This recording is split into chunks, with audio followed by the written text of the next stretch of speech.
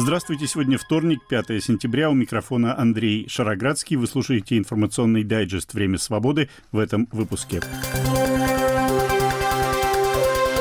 Президенты России и Турции Владимир Путин и Реджеп Эрдоган не договорились о продлении так называемой зерновой сделки.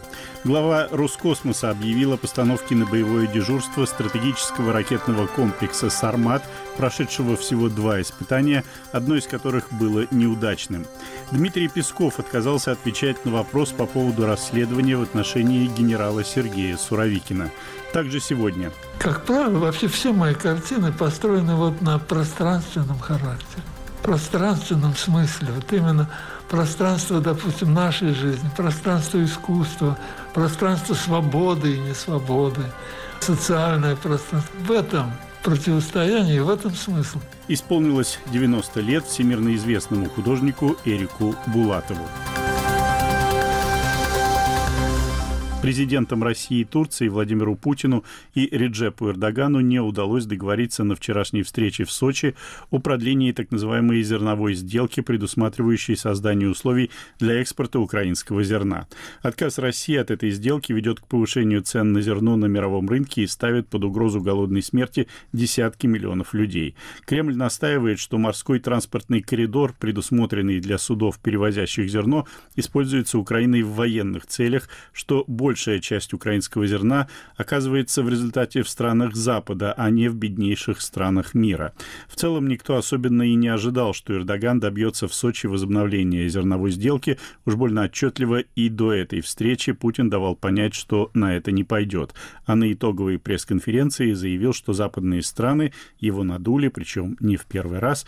Вот фрагмент этого заявления. Сделка была, подошла к концу никаких обязательств в отношении России исполнено не было. Нас попросили продлить ее, наше участие в ней попросили продлить. Опять же, с обещанием немедленно все исполнить. Мы продлили. Опять ничего никто не сделал. Потом нас попросили в третий раз продлить наше участие с обещанием исполнить данные нам обязательства. И, как водится, часто так бывает с нашими западными партнерами – они нас опять надули, опять ничего не сделали. О чем Владимир Путин не упомянул на совместной с президентом Турции пресс-конференции, так это о том, что буквально накануне встречи на высшем уровне в Сочи Россия усилила удары по портовой инфраструктуре Украины, которая как раз и используется для экспорта украинского зерна.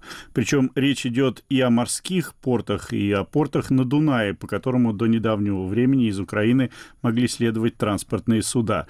Ну и, разумеется, Путин не говорил о том, что вся эта ситуация, имеющая глобальные последствия, последствия – результат агрессии России против Украины, продолжающейся уже более полутора лет. Зато об этом говорил официальный представитель внешнеполитической службы Европейского Союза Петр Стана. Наши общие ожидания заключаются в том, что Россия как минимум вернется к зерновой сделке, а главное ожидание, что Россия прекратит свою незаконную агрессию против Украины, частью которой является блокада Черного моря и удары по инфраструктуре для экспорта украинского зерна. Прошлой ночью Россия снова атаковала Одессу и Днепропетровскую область, нацеливаясь непосредственно на мощности, используемые для экспорта украинского зерна. Это еще раз демонстрирует, что действия России ухудшают ситуацию с глобальными ценами на продовольствие и глобальный продовольственный кризис, ставя под угрозу миллионы уязвимых людей во всем мире. Заявление официального представителя внешнеполитической службы ЕС Петера Стана. Еще одна важнейшая деталь. Порты в Украине, по которым наносят удары Россия, находятся в непосредственной близости от границы с Румынией, государством-членом НАТО, защищенным статьей Устава Североатлантического Союза, согласно которой нападение на одну страну НАТО считается нападением на весь альянс. Министр иностранных дел Украины Дмитрий Кулеба заявил, что у Киева есть неоспоримые доказательства того, что российские беспилотники типа «Шахет» упали на румынской территории. Тем не менее, официальный Бухарест это отрицает, явно избегая конфронтации с Москвой. В пресс-релизе МИД Румынии отмечается, что использованные Россией средства нападения ни разу не создавали для Румынии прямых военных угроз. Тем не менее, украинский дипломат, эксперт Центра оборонных стратегий Александр Хара убежден, что такие случаи необходимо документировать. Свое время, в 2014-2015 году, мы делали ошибки, наше политическое руководство, когда не фиксировало факты такие, как они есть. Вы прекрасно помните, когда э, представляли конфликт э, на Донбассе, как, э, ну, собственно, какой-то там вариант гражданского противостояния, и все эти Минские соглашения были написаны таким же способом. А в 2022 году оказалось, да, что, собственно, как бы это было абсолютно все неправильно. То есть надо все фиксировать, даже если каких-то политических, правовых последствий э, нет э, в ближайшее время. Это чрезвычайно важный момент. Вы знаете, ООН не может остановить войну, но если мы не будем апеллировать, если не будем э, представлять доказательства, которые будут ложиться в отчеты и в другие важные документы, то вот этот record, то есть все эти преступления, которые каждый день совершает русский рейх, они как бы тогда будут просто-напросто вне горизонта. То есть я считаю, что это абсолютно правильно. Наш министр иностранных дел достаточно дипломатично объяснил, почему, по его мнению, румыны таким образом ответили, но не замечать и игнорировать такие вещи будет неправильно, потому что следующий удар будет э, целенаправленный как проверка и состояние румынских ПВО или там польских и так далее, и как проверка политической воли. И дальше, самое главное, что Россия не может выиграть эту войну на территории территории Украины. И она будет пытаться сделать, скажем так, провокации в отношении стран НАТО. Естественно, русские не хотят воевать с НАТО. Они прекрасно понимают, что если с Украиной не могут справиться, то э, с э, блоком таким, который, ну, собственно, уже достаточно хорошо подготовился, у них шансов нет. Но создать провокацию для того, чтобы, ну, вы же прекрасно помните э, желание Путина на Ялту 2.0. То есть надо новый мировой порядок, по крайней мере, в Европе. А второй момент – это то, что э, русские чрезвычайно часто повторяют э, Карибский кризис. То есть они хотят эскалировать до такой ситуации, когда вот у нас нет уже возможности дальше отвечать, мы готовы задействовать ядерное оружие. Поэтому давайте будем договариваться. Украина это серая зона. То, что мы там откусили незаконно Крым и четыре области, это э, российские. А дальше, значит, э, будем деэскалировать и договариваться о тех э, силах и средствах, которые находятся в Европе и так далее. Украиной все это не закончится. И что, скажем, в их воспаленных мозгах надо идти дальше, надо устанавливать правила, поскольку Россия не может не быть великим государством. У них есть ресурсы, прежде всего ядерное оружие, потому что по другим ресурсам они, естественно, естественно, проигрывают. Поэтому это не последняя эскалация. Сейчас, похоже, это случайно, но будут и э, специальные. Говорил украинский дипломат, эксперт Центра оборонных стратегий Александр Хара. Это фрагмент его интервью телеканалу «Настоящее время». В России приезд Эрдогана в Сочи подавался как дипломатическая победа Кремля. Мол, президент Турции хотел, чтобы Путин приехал в Анкару, но был вынужден приехать в Россию. Однако немало экспертов говорят о том, что Путин сейчас изо всех сил старается избегать международных поездок. И не только из-за ордера Международного уголовного суда на его арест. Путин не был на саммите БРИКС, не поедет на саммит Большой Двадцатки в Индии. Опять возникла неопределенность вокруг анонсированной вроде бы его поездки в Китай в октябре. Дипломатии в целом, конечно, присущи обтекаемые формулировки, обход острых углов, но иногда, что называется, вольно или невольно, прорывается правда, в том числе и о международной репутации Владимира Путина. Так, на конференции по безопасности в Словении премьер Албании Эди Рама во время пленарного заседания рассказал анекдот про Путина, очень свежий, потому что в нем упоминается и Евгений Пригожин. В России захотели ввести единый часовой пояс, потому что разница между разными частями страны целых 9 часов. Премьер-министр идет к Путину и говорит, есть проблема. Моя семья была в отпуске, я позвонил им пожелать спокойной ночи, но у них уже было утро. Я позвонил Олафу Шольцу, чтобы поздравить его с днем рождения, но он сказал, что это будет на следующий день. Я позвонил Си Цзиньпиню, чтобы поздравить его с Новым годом, но он сказал мне, что у них все еще старый год. А Путин ему отвечает, да, такое случилось и со мной. Я позвонил семье Пригожина, чтобы выразить соболезнования, но его самолет еще не взлетел. Анекдот про Владимира Путина в исполнении премьера Албании Эди Рамы. Кстати, аккурат после того, как разговоры про гибель Пригожина и его окружение поутихли, в социальных сетях появилась фотография бывшего командующего российской группировкой в Украине генерала Сергея Суровикина, пропавшего из публичного пространства после Пригожинского мятежа в конце июня. Первый эту фотографию опубликовала Ксения Собчак. Ходили слухи, что Суровикин знал про планы Пригожина, Пригожина, но не сообщил о них, и его задержали по подозрению в государственной измене. Журналистка «Франц Пресс» сегодня попыталась задать вопрос о судьбе Суровикина пресс-секретарю Кремля Дмитрию Пескову. Диалог получился короткий. Сергей Шойгу вчера оставил без ответа вопрос журналистов о возможном расследовании в отношении генерала Суровикина. А можно ли задать этот вопрос вам? Известно ли вам что-то сейчас о том, Нет, что с ним происходит? Хорошо, спасибо большое. Вы слушаете информационный дайджест «Время свободы». Сегодня вторник, 5 сентября. Тему выпуска представляю я, Андрей Шароградский. На уже упомянутой мной пресс-конференции с Эрдоганом Путин заговорил и о ситуации на фронте в Украине. Его заявление прозвучало довольно однозначно. Вот что он сказал. По пробуксовке и контрнаступления это не пробуксовка, это провал. Во всяком случае, на сегодняшний день это выглядит именно так. Посмотрим, что дальше будет. Надеюсь, что дальше будет именно так. Это был Владимир Путин, и сразу после пресс-конференции это заявление попросили прокомментировать и министра обороны Сергея Шойгу. Шойгу заявил, что согласен с Путиным и сообщил о потерях, по его данным, бронетехники ВСУ за последние сутки. Потери большие. Вчера в результате там такой серьезной атаки на как раз Работинском направлении они потеряли 6 танков, на другом направлении, на Бахмуте, там наши ребята очень искусные, я бы так сказал, беспилотными, такими беспилотными аппаратами, новые беспилотные аппараты, уничтожили еще шесть машин, поэтому вчерашний день вот только в бронетехнике 11. Это был Сергей Шойгу. Вы, наверное, обратили внимание, что при сложении 6 и 6 у министра обороны России получилось почему-то 11. Это можно, конечно, списать на то, что Шойгу торопился, но оговорка именно по поводу потерь украинской армии получилась очень символичной, по сети разошлось огромное количество мимов. Отстающие по математике увидели перед собой широко раскрывшиеся двери социальных лифтов. Это одна из шуток по этому поводу.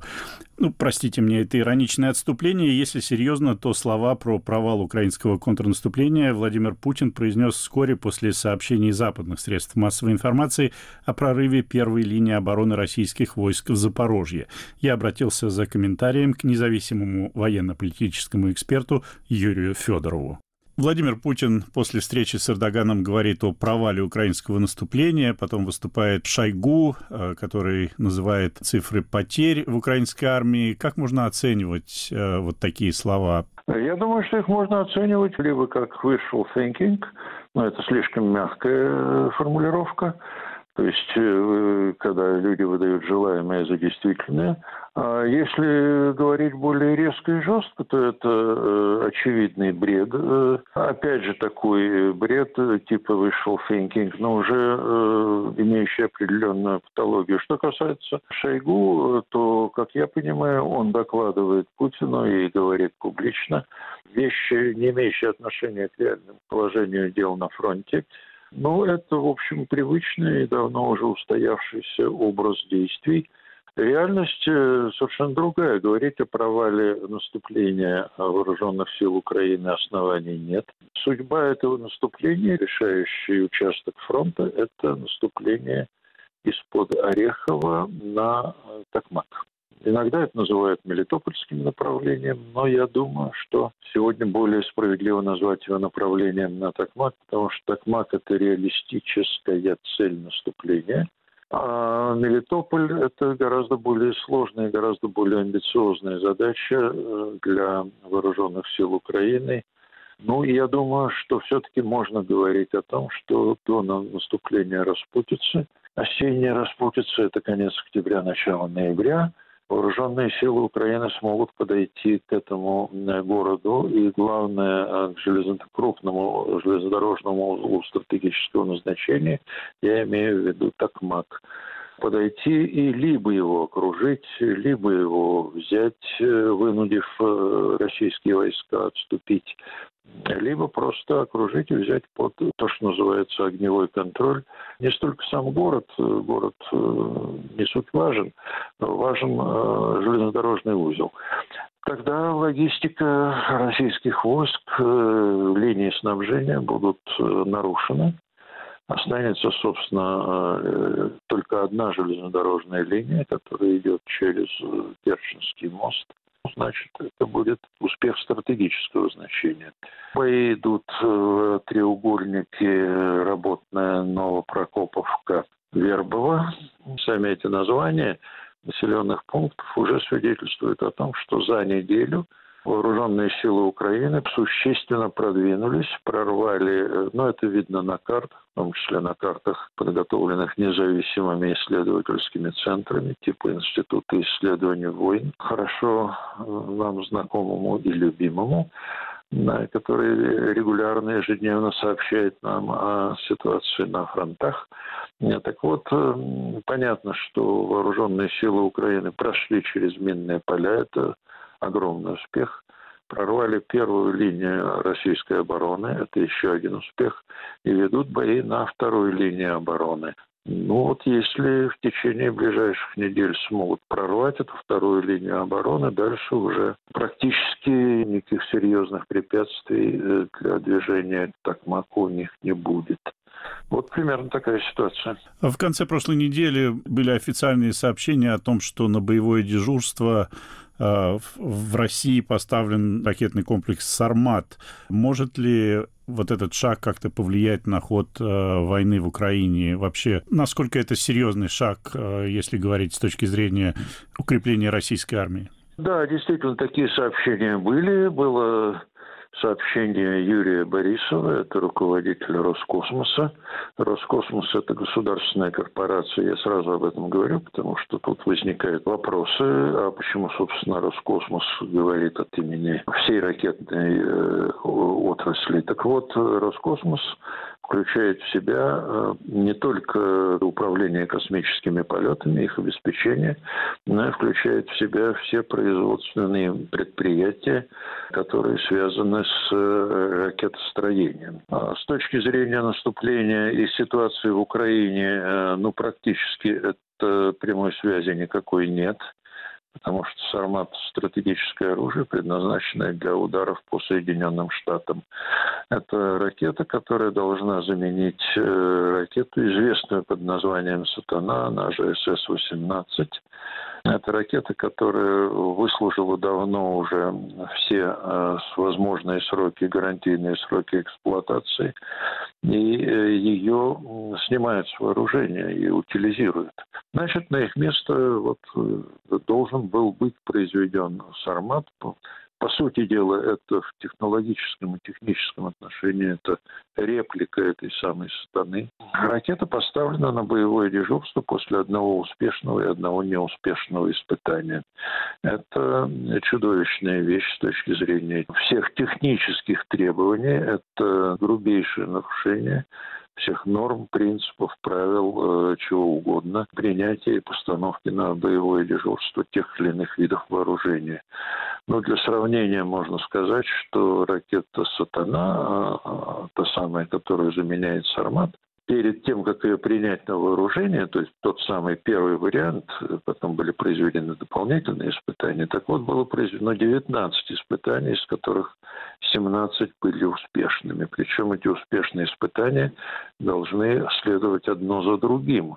Сармат поставлен на боевое дежурство, повторяю, после одного успешного и одного неуспешного испытания. Причем неуспешное испытание было вторым. Это значит, что ракета не доделана. Э, неизвестно, как она себя поведет, если будет дана команда э, на запуск двигателя. Она может взорваться в шахте, она может полететь либо туда, но может полететь и не туда, куда ее нацеливают. В общем, э, ее поведение совершенно непредсказуемо. Но вот это и есть технический авантюризм. Тут ничего другого не придумаешь. Моим собеседником был независимый военно-политический эксперт Юрий Федоров. Вы слушаете «Время свободы». Сегодня исполнилось 90 лет Эрику Булатову, одному из самых известных в мире художников российского происхождения. Булатов родился в Свердловске, в Советском Союзе, окончил институт имени Сурикова в Москве. Много лет после обвинений в формализме в искусстве основным заработком для него были иллюстрации для детских книг, прежде всего сказок. Многим из тех, кому сейчас за 40, эти иллюстрации хорошо знакомы. Уже больше 50 лет Эрик Булатов работает с плакатным текстом. Его характерный и узнаваемый метод – столкновение такого текста, выхваченного из контекста советской действительности, с фигуративной, чаще всего пейзажной, заимствованной из массовой печати составляющей. И это принесло Булатову огромный успех. Тем, кого интересует магия арт-рынка, справочники сообщают впечатляющие цифры. Картина «Советский космос» на аукционе Сотбис ушла за полтора миллиона долларов. «Не прислоняться» и «Слава КПСС» были проданы за 2 миллиона каждая. «Революция. Перестройка» за миллион.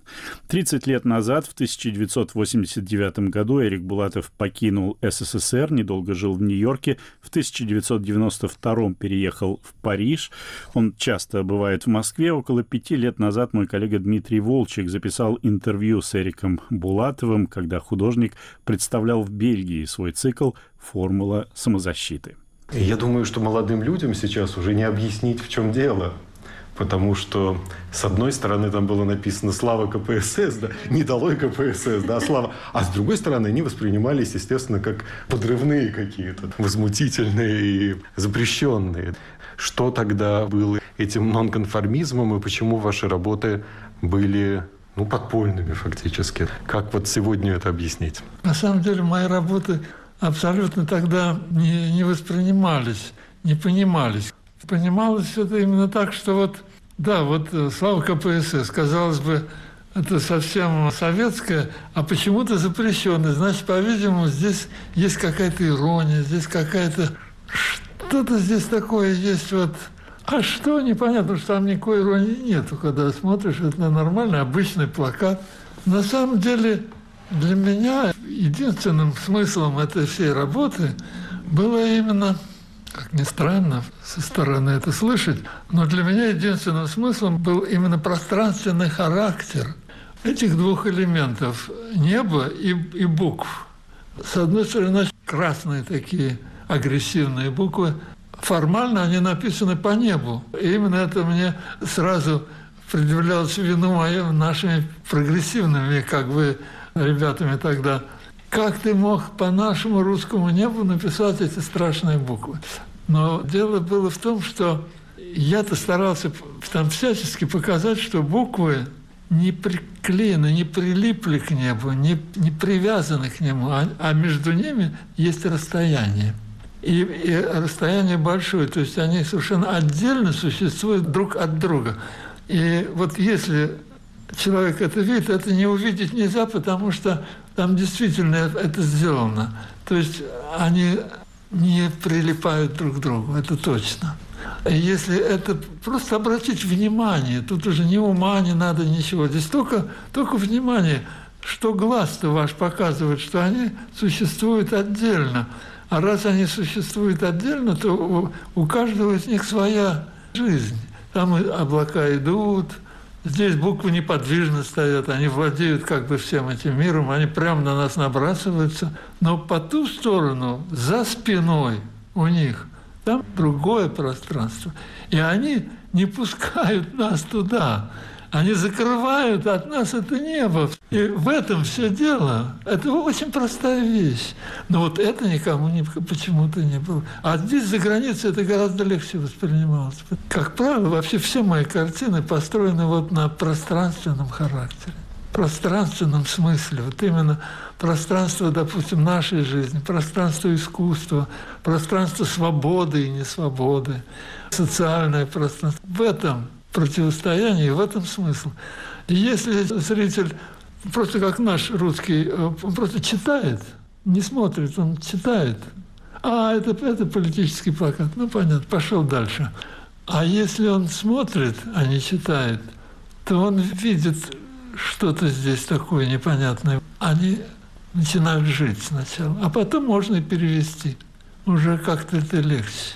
Так что Понимаете, такое недоразумение с моими картинами.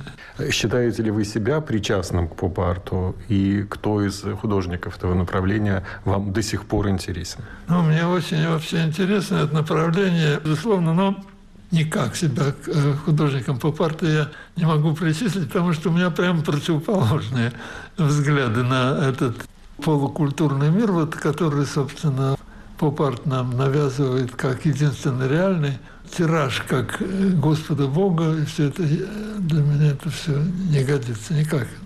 Но что мне очень важно было в поп-арте, это то, что, во-первых, они все-таки обратили внимание на, на вот целый круг очень важных явлений, которые просто не допускались как бы в искусство, в культуру, как что-то низменное, такое не, не стоящее внимания, а тем не менее они окружают нас и на наше сознание сильно влияют. Поэтому это очень важное было дело, то, что они это сделали, во-первых. И во-вторых, для меня тоже очень было важно, что они не стесняются себя, они не стараются придерживаться таких эстетических нормативов обязательных. Они как бы плевать на них даже хотят. Вот, а я вот так вот считаю, я так думаю. Это мой голос, да. Это вот, да, он, может быть, вам не нравится, может быть, недостаточно культурный. Ну, ничего, я на нем скажу. Вот как раз он вот очень важно, что надо не стесняться себя, своего голоса, не говорить от имени какого-то возвышенного, идеального источника этого голоса, да, то есть не подставлять на свое место Господа Бога или прочее. Вот это важно, у них это было. И тогда, вот в советское время, как раз нам этого очень не хватало. Мы себя стеснялись ужасно.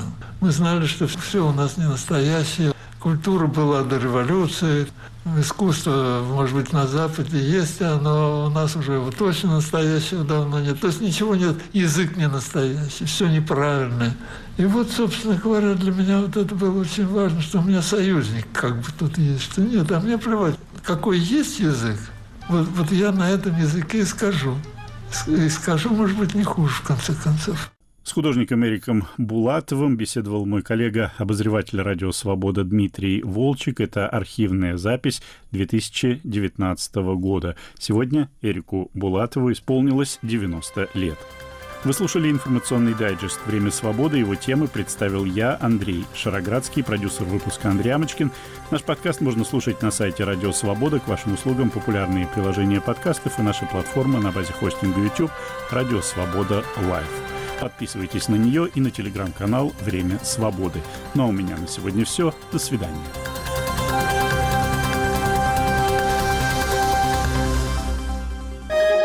Студия подкастов «Радио Свобода».